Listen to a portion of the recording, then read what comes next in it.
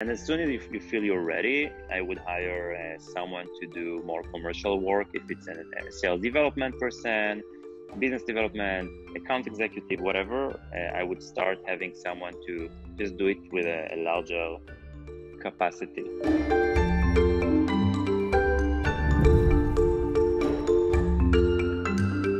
Nitzan, I'm excited to continue our conversation I'd love to hear your story a bit more in depth. You, you shared a little bit uh, of where you where you started, but tell me where did you begin and how did you get to then where you are today with Epsagon? Where did I begin? Like from birth? I mean, I yeah. Uh, I guess my professional career is or like the going in tech started when I was a kid. I had my first computer and I, I played a lot of PC games actually. I didn't do any programming as a kid. Uh, and then it really, but it made me go in high school to learn uh, programming.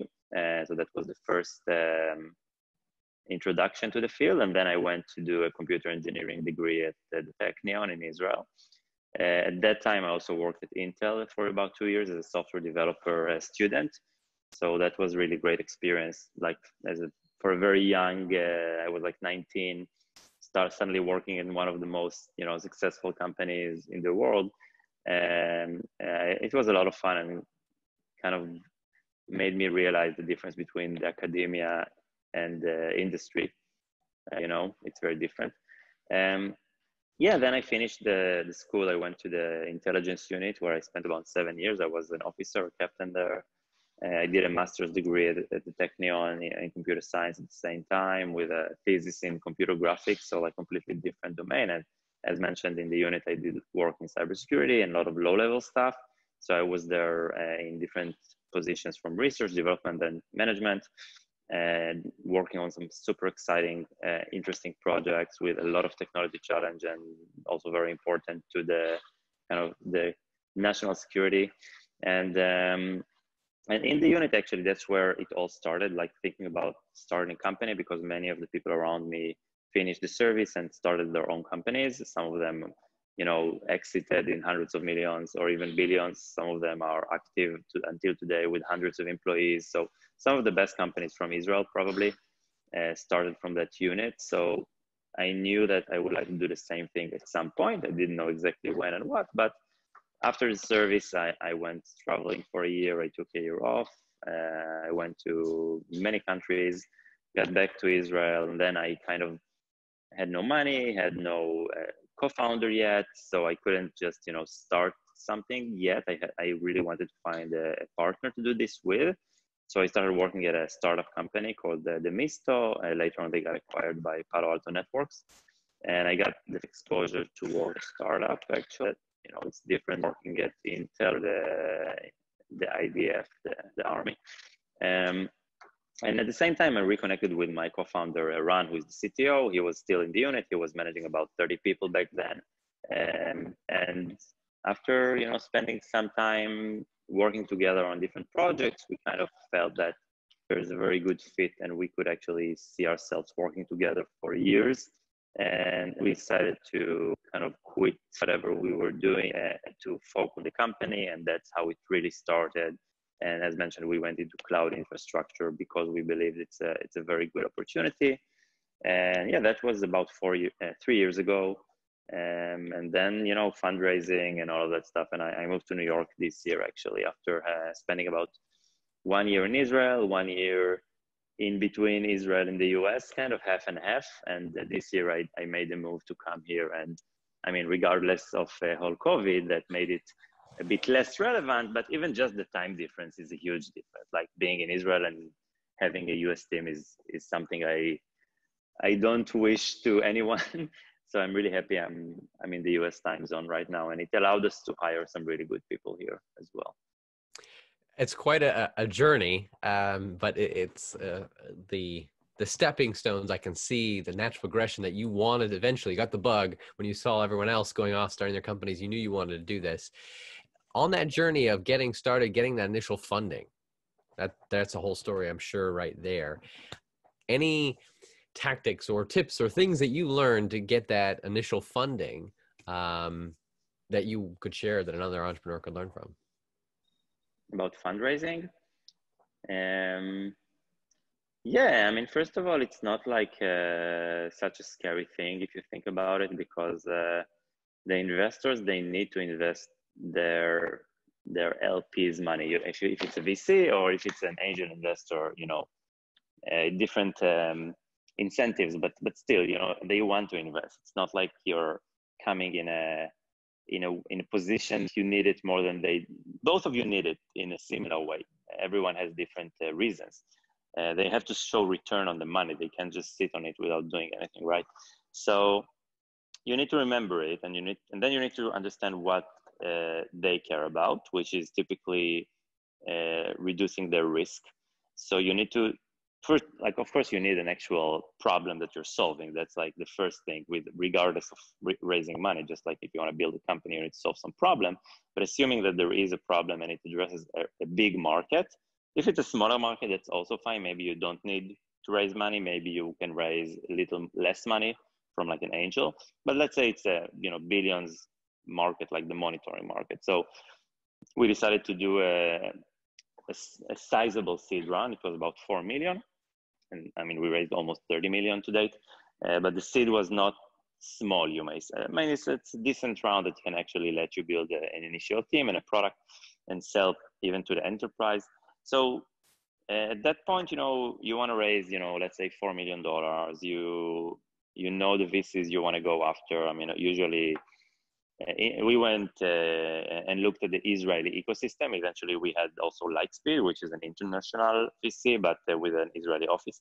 So uh, basically, you just need to have a plan. You know, you want to make sure you have a timeline for the fundraising. Let's say a couple of weeks in which you do all the first meetings with investors then you need to line them up. You get introductions to whoever you need. I mean, it's really easy to get introductions to VCs because they are not hiding. I mean, it's their job to, to find you as well. So at least get the, the initial touch. It's not difficult at all. And, um, and then you need to build a story, as mentioned, that, that really shows that the company you are building has as less risk as possible. So risk is typically in the form of the market that's the first thing you really need to emphasize that this is a big market like if the vc doesn't think it's a big market it's just not no matter how good you are you're not able to you know to make a big outcome. Then you know the team very important. You need to show them that you are very strong like really top percentile team. Like how, however you present it whoever you are you want to make sure this is the impression they're getting. And and third is like what you do product technology. Today if you're a software company the risk there is pretty minimal because you don't need you know data centers. You can do the use the cloud you can have an mvp in a matter of few months usually but if you have a very strong tech side which maybe you're doing something with uh, biology computation or even hardware or chemistry obviously you need to explain why you can even do what you say you'll do in our case you know there is a very strong technology challenge, but nobody questioned our ability to, you know, to execute on it. So that wasn't the risk. The risk was really about, um, uh, you know, there are there is competition. How are you going to be different? How are you going to be able to, to create a large company? But luckily, you know, right before our, our series, there, there was some great example of, um, you know, they going public, SignalFx acquired for 1 billion, NetRes went public. So there are actually measurable results to start in this space. Like Dog was obviously a success to their investors. So um, yeah, um, I'm happy to, to chat with anyone who has those uh, concerns. I think I helped some some entrepreneurs with like thinking about fundraising and making it much more structured rather than a scary thing. I love your perspective on it that it shouldn't be scary that they're in biz- they're in their position to give money. You shouldn't feel bad that you're asking for it at the very beginning. And then about the story, making sure you have a captivating story, stating the risks clearly, that you understand the market, you have the team, a talented team, and you know that you can deliver on it. And you should then you don't need to worry. I like it. it's a nice framework you just provided. Mm-hmm. Getting that initial customer. You've got the funding, and then you build your MVP. what did it take? Any learning lessons learned of, of getting that initial few customers on board? What did that take? And why does it take? Uh, patience, uh, persistency. I mean, obviously, nobody cares about you when you're small. Nobody cares about you when big either. But especially when you're small, um, nobody's gonna hear about you. Like it's just not doesn't work this way. You have no no brand awareness. No one. Just literally, too few people heard of you, so you can't expect anything to happen. Uh, even you have the most amazing product, and even if the problem you have is huge, again nobody knows you. So you are like three people in an office, right? So I mean, obviously you want to start doing something, but uh, at the same time you want to start speaking with customers as much as possible. I I really see only only the benefit of it. So I mean, we would go and do a lot of you know reach out customers, emails, LinkedIn, whatever. We did it before the fundraising, but obviously after as well use your connections to get people to actually you know use your product. It's not the same as a, a, an outbound that you can actually grab and sell into but even if it's through a friend you know eventually if you're, you're selling into businesses they are not going to do you a favor and spend teams time to to implement your product if it's not going to bring them any value. So it is it does mean something when a company uh, usually more than one person uses your product, uh, even if it was through a friend's uh, introduction. It's, and until today, we have customers coming through our personal connections every time there is an opportunity. I mean, why not? Eventually, you want you want the foot in the door. You want you want people to, want people to know about it. Just a way to do that. Uh, and as soon as you, you, feel you're ready, I would hire uh, someone to do more commercial work. If it's a sales development person, business development, account executive, whatever, uh, I would start having someone to just do it with a, a, larger capacity to, to start getting more and more meetings with customers because this eventually is the engine to everything. You get customers, you get revenue, you get feedback. Like you need the engagement with the customers. Go to conferences if if it's online, you know, even better. It's even cheaper. You can pay like a thousand bucks and get exposure to hundreds of companies. Uh, so it's really worth it. Um, so you know, it just takes a lot of work, and um, yeah. I appreciate that. First takes patience and just a lot of conversations, but you make an excellent point that then building get getting a salesperson, building a, the right team is a great way then to scale up from there. What what did your team look like at the beginning and what does it look like today? So in the beginning, it's, um, you know, Ran and I started, we hired some like very good engineers we, we knew from the unit that we either, usually we work with them or we, we manage them. So actually one of them is now our director of engineering. He's managing the like multiple teams. The other one is the director of like a cloud architecture. So people that really grew with the company. Um, but we have the, the core engineering team. We really were in, in a, we had the luxury until today.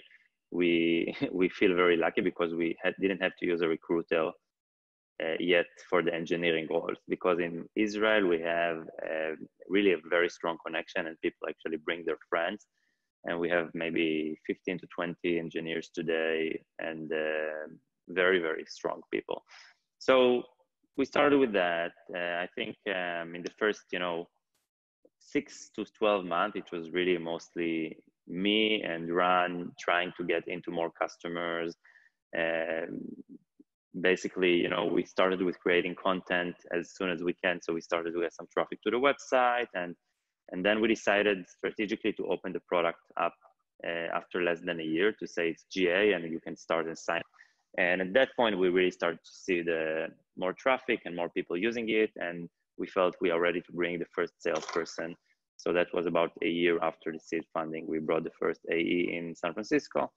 And um, yeah, and then we, we, before the Series A, we grew the team to, I mean, we had people in the US and probably, you know, 12 in Israel. And most of them were engineering in Israel. And then uh, after Series A, we really could scale and we had a funding round after that. So we grew to about 40 today, where we grew from 1A to a team of five with a VP sales, and we have head of marketing. Like we have a bunch of them now. Uh, some of them from companies like Datadog or New Relic. So um, anyway, yeah, it's pretty natural evolution, but it goes together with the phasing of. It's helpful to hear the timeline of that know, first to, to six or eight months, and then a year later, and then to where you are today. There's all the stepping stones uh, to be able to get to where you are now. What did it take to truly then start to scale, going from the first, you know, 10, you know, 20 customers on the platform to hundreds or, or, or more? uh, and any stats that you can share about like where you are now and, and, and then just tactics that have got you to that.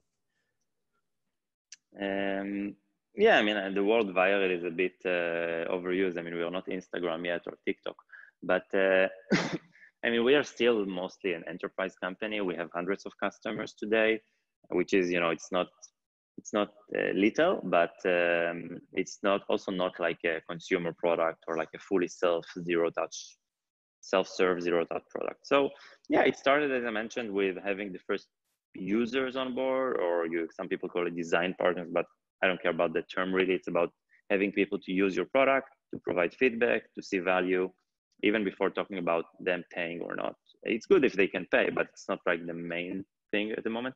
I mean, at the beginning. So we had like a few dozens, um, I don't know, maybe 10, 20 companies using the product to some extent before we eh, opened opened it up to the public and at that point we also started to get uh, the first paying customers. Uh, only after that we had the first let's call it enterprise deal which is a bigger deal that is you know uh, involving a longer sales cycle usually you know more than a month let's say and and starts to actually get some ARR into the company. And um, yeah and then it kind of went hand in hand. We had the self-serve that started to work and we had the enterprise motion and the goal is to get as many people from the self-serve to the enterprise. That's kind of uh, the reason to have a self-serve because the revenue coming from self-serve is is usually not in most companies in our our type is not going to be let's say more than more than half or even more than 30% but selling to a customer that already use your product for a month or two or six, uh, if it's a large company, the sales cycle is extremely faster when you don't have to explain to them. You know, it's just a matter of, oh, we use this in one team, we want to deploy it across the board, we need a large contract. So you really go into a commercial discussion way faster. So that's really the core reason to have self-serve that's a powerful uh, tactic to know that that works of uh, self-serve to get into the larger companies and then you can sell them it's much easier to expand to the entire company. Thank you. Yeah yeah. I mean it's something that uh, we are not the first the only company to use the tactic obviously but yeah it's definitely if you can make it work it really reduces your customer acquisition cost and makes all the other parameters much much better like all the SaaS metrics and so on. In the last uh, in, in 2020 during COVID, what kind of challenges have you had both internally with your team and your culture, as well as externally with your clients and customers, uh, as far as whether it's communication or just marketing efforts uh, or just speaking internally? Uh, and how are you addressing those challenges? I think COVID affected everyone in some way. Some people actually benefited from COVID, like uh, Zoom, I suppose. But overall, you know, in our space, we are in the infrastructure space. So we are not targeting a specific vertical like travel or transportation or whatever. So some of our some of our potential customers have been impacted.